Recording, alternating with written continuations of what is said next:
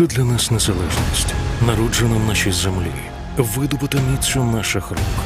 Вона стає вогником в кожній домівці. Боремося за найцінніше. Нафтогаз України. Зміцнюємо незалежність. Я вітаю вас 10.30 ранку в Україні. Ми залишаємося в укритті, оскільки не скасовано масштабну повітряну тривогу, яку оголосили по всій Україні. У Києві пролунали вибухи. Столична військова адміністрація повідомила, що це працювала протиповітряна оборона. Про вибухи та роботу захисників українського неба повідомляє влада Хмельниччини та Вінниччини. За даними командування повітряних сил збройних сил, російські війська підняли в повітря винищувач Міг 31 Окупанти здійснили кілька пусків ракет кінжал. Нині повітряна небезпека триває. Подбайте про свою безпеку і залишайтеся в укриттях або в безпечних місцях. В Оболонському районі Києва уламки збитої російської ракети впали на території однієї з дитячих лікарень. Про це повідомив у столичній військовій адміністрації. Дані щодо потерпілих та руйнувань з'ясовуються. Екстрені служби вже попрямували на місце падіння уламків. Від самого ранку російські війська накривають вогнем Херсонську область. Наразі відомо про щонайменше п'ятьох поранених. Повідомляє місцева влада. Зокрема, троє жінок поранені внаслідок обстрілу комишан. Близько четвертої ранку російські війська вдарили там по приватному будинку. А о восьмій ранку ворог з безпілотника скинув вибухівку на центр видачі гуманітарної допомоги у Береславі. І вже за півгодини російські війська завдали артилерійського удару по Херсону. Окупанти поцілили поблизу багатоповерхівки. Поранено двоє людей. У Донецькій області за минулу добу внаслідок обстрілів загинула одна людина в Єлизаветівці Мар'їнського району. Про це повідомили в Донецькій обласній військовій адміністрації. Поранено було дев'ятьох людей, зокрема й дитину. Зазначається, що за минулу добу росіяни 22 рази обстріляли з градів та артилерії Вугледар. Також численних обстрілів та авіаударів зазнав Торецьк. Там поранень зазнало шестеро місцевих жителів. Пошкоджено 35 будинків, 4 адмінбудівлі і 2 об'єкти інфраструктури. З особливо небезпечної частини Авдіївки екіпаж поліції Білі Янголи евакуювали літню жінку. Росіяни розбомбили її будинок. Пенсіонерка жила сином у старій частині міста біля промислової зони, де вже 9 років точаться важкі бої. Забирали родину під вибухами снарядів. Як все було в нашому наступному репортажі. Сьогодні у нас за планом е, евакуації бабусі та її сина з міста Авдіївки. У майже знищеній окупантами Авдіївці Геннадій та Дмитро з евакуаційної групи Білий Янгол знають про кожне вороже влучання. Алло, доброго дня. Це Білий Янгол, місто Авдіївки. Вас. На їхніх очах окупанти вщент стирають рідне місто. Це син е, моєї вчительки, яка вела у мене там танці в школі. Е, вони мешкали у цьому будинку, е, у цьому під'їзді. Е, у їхню квартиру було потрапляння е, ворожої міни. Ну, зараз вони у більш безпечному місці, десь на заході країни. Правоохоронці намагаються зберегти життя своїх земляків, вивозять людей з будь-якого куточка Авдіївки. чистая, красивая была. Особенно сделали, когда качели, освещение. Все это было прекрасно и хорошо. Школы восстановили, школы очень красивые были. Вон четвертая, э, вторая, пятая. Стара частина міста найнебезпечніший район. Усе, бо фронт дуже близько. Подвинь, подвинь, давай. Сейчас, сейчас, сейчас. сейчас. Длинный батя. Сколько? Метр девяносто. Михалыч, пока, лапушка, не поминай лихом. Будь мужественный, как всегда был. Місцева жителька страждала від війни ще з 14-го року, однак лишилася вдома. Тепер її тут ніщо не тримає. Ворог знищив оселю, яку родина будувала все життя. Мы все время 14 года. Очень тяжело. Все он, стекла нема на окнах. Двери, вот как видите, вон щели, все. Потолок отпадает. Да Всю жизнь тянулись, всю жизнь строились. Дом тут что купили. И все так разбито, и ничего у меня нету. Літня жінка майже не ходить через поламані руку та ногу. Не закривай, подожди. Це так звана стара частина міста Авдіївка. Постійно потрапляє під обстріли. Знаходиться неподалік промзона, де точаться запеклі бої протягом 9 років вже. Відбуваються і стрілкові бої, артснаряди падають. Також прилітає і рядом е, досталося будинку бабусі. Біля Янгола доставили пенсіонерку з сином у безпечне місце. Далі сім'я поїде під опікою надзвичайників. Желтую машину вас туда посадим. Ох, красиво. И как раз вас дому и подвезу. Ноги прижимайте, прижимайте. И присаживайтесь. Так, Спасибо. Здоровья вам и безопасности, и мирное небо. Любов Кукла, програма Вікна СТБ Марафон. Єдині новини. І ось щойно стало відомо, що пішли відбої повітряних тривог по всіх областях. У Києві та Київській області теж уже скасована повітряна тривога. Залишались, залишається небезпека тільки на сході та на півдні України. Напередодні ввечері раптового терористичного удару зазнало Запоріжжя. Цього разу росіяни вгатили посеред місця ракетою Іскандер-К, обравши собі за мішень відомий готельний комплекс на набережній магістралі, де в денний час працював дитячий табір. На щастя, приліт стався вже по тому, як малечу забрали батьки. Втім, одна людина, яка перебувала на значній відстані від епіцентру вибуху, загинула на місці. Допомога медиків знадобилася 19 містянам. Серед них четвер дітей, зокрема, і трирічна дівчинка. У нас є одна загибла жінка, один з дев'яти поранених зараз знаходиться в тяжкому стані. Загибла жінка вона перебувала десь на відстані близько 300-400 метрів від е, удару.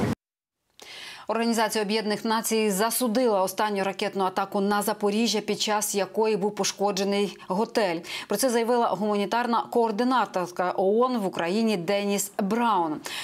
За її словами, співробітники ООН, зокрема і вона сама та її колеги з інших неурядових організацій, неодноразово зупинялися саме в цьому готелі. Браун зазначила, що такі атаки абсолютно неприпустимі, і зауважила, що торік, у травні, це була база ООН для роботи з евакуації цивільних жителів із комбінату Азовсталь у Маріуполі.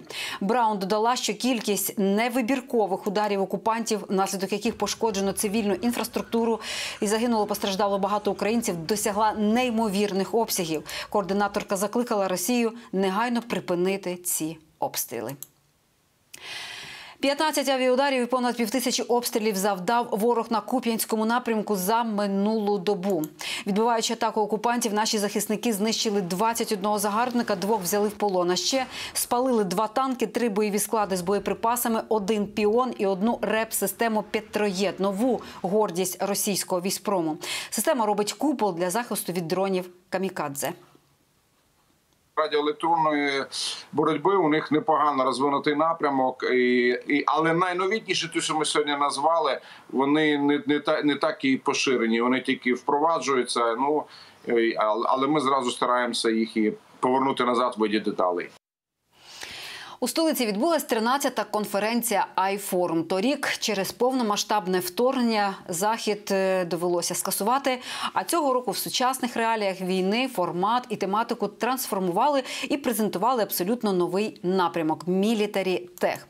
Розробники і стартапери презентували свої винаходи, які вже працюють на фронті або будуть допомагати нашим військовим нищити ворога. Що створюють і чим дивують наші айтішники та науковці, розкаже Олена Ровенчук. Скид висить в такому положенні, е, коли оператор нажимає кнопку, він випадає автоматично, розкриваються крила. Це чемний лось, нова модель безпілотника. Нашпигований вибухівкою дрон можна без ризику для пілота скидати з великого агродрона на відстані від противника до 5 кілометрів.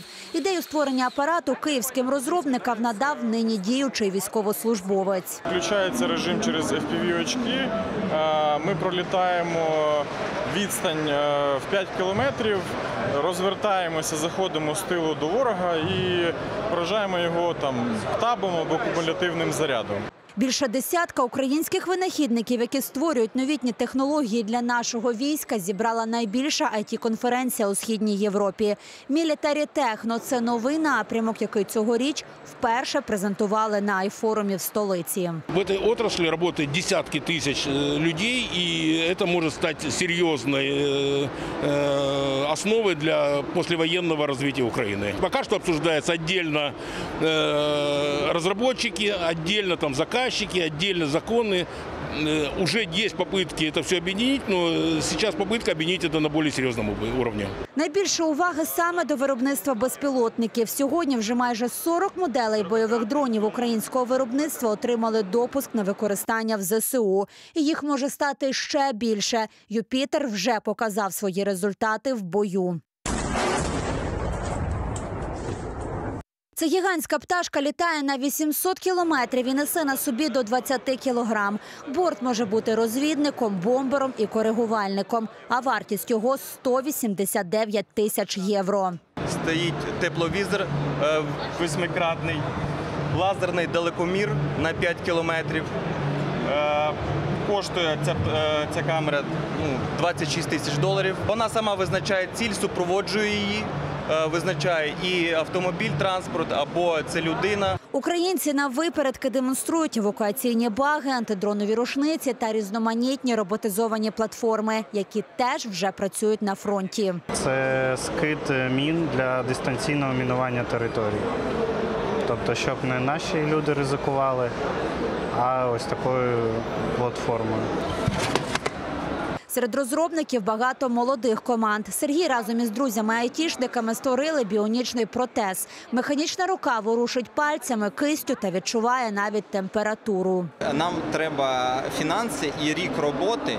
Після е, року роботи в нас е, е, по бізнес-плану десь 10-15 протезів, е, які ми роздамо людям е, для тестування, а потім, потім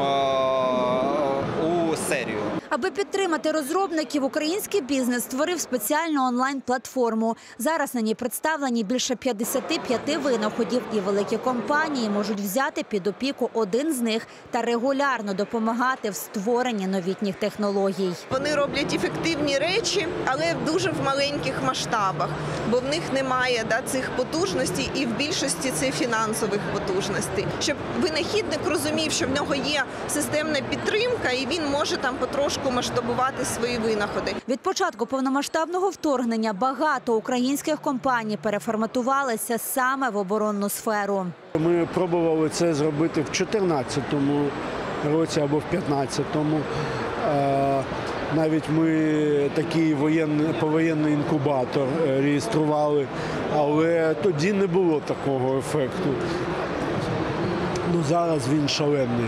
Зараз держава дуже спростила всілякі процедури, пішла на зустріч бізнесу. Цьогорічний форум зібрав понад 5 тисяч учасників. Одним із головних питань під час панельних дискусій, які відбулися одразу на чотирьох сценах, було все ж залучення нових інвестицій в Україну. Адже важливо в час війни зберегти економіку, і в цьому нам неабияк допоможуть нові технологічні розробки саме в мілітарі галузі. Певні організатори Олена Ровенчук та Роман Щербаков. Програма Вікна СТБ.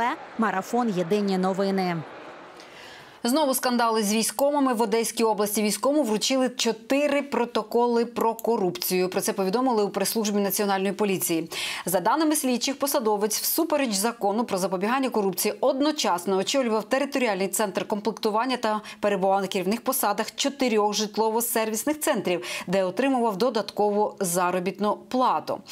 За два роки його махінацій порушник отримав майже 210 тисяч гривень додаткового доходу. За це військову загрожує до 8,5 тисяч гривень штрафу та конфіскацію отриманого доходу.